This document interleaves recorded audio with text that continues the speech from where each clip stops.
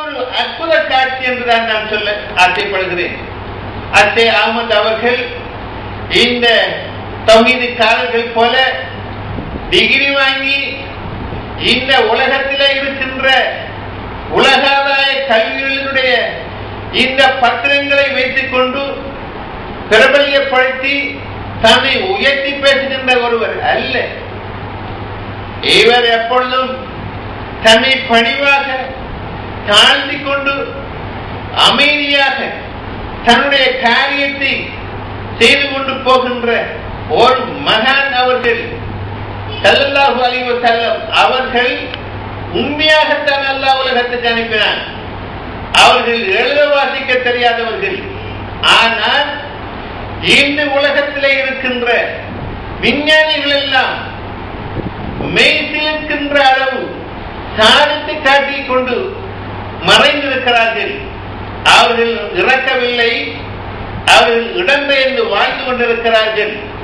அந்த நாயம் சல்லல்லாஹு அலைஹி செல்லம் அவர்கள் இந்த வானத்திலே இந்த விண்ணுலகத்திலே இன்று இருக்கின்ற விஞ்ஞானிகள் சந்திரனை போய் அடைவதற்கு அங்கே ஒரு வாசலும் இல்லாத நேரத்திலே அந்த நாயகம் செல்லல்லாஹு அலைவ செல்லம் அவர்கள் எந்த வாசலால் இந்த வானலோகத்தை கடந்து ஏழு வானங்களுக்கும் அப்பால் போய் இறைவனை தரிசித்து விட்டு வந்தார்களோ அந்த வழியில் தான் இன்றைய விஞ்ஞானியில் போகிறார்கள்.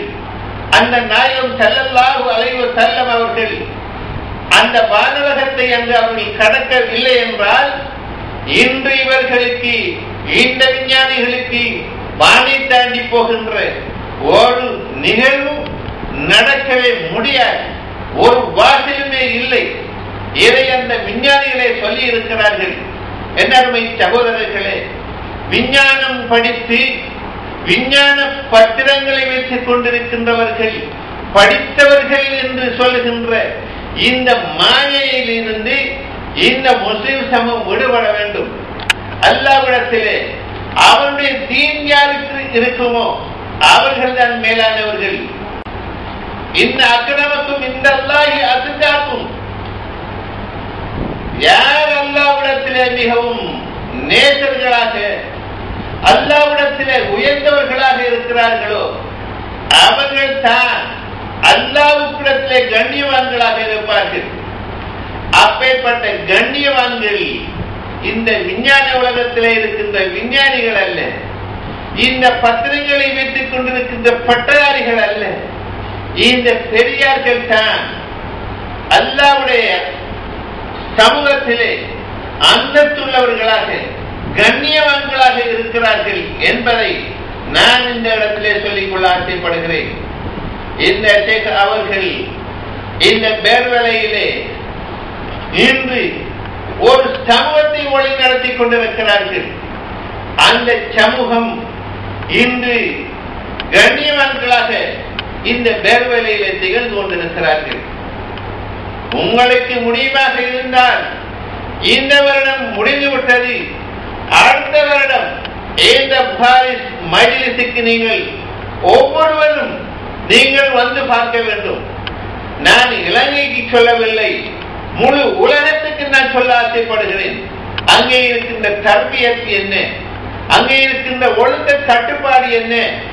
அந்த அச்சை அகமத் அவர்களுடைய மகத்துவம் என்ன? எப்படி அவர்கள் அந்த சமூகத்தை வழி நடத்துகிறார்கள்? அவர்கள் எப்படி உடுத்திருக்கிறார்கள்? எப்படி பேசுகிறார்கள்?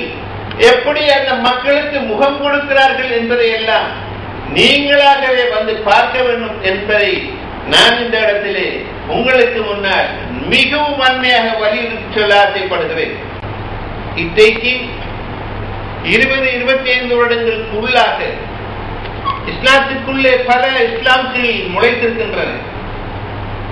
ஒரு மார்க்கம் இந்த தீன இந்த அல்லாஹில் இஸ்லாம்.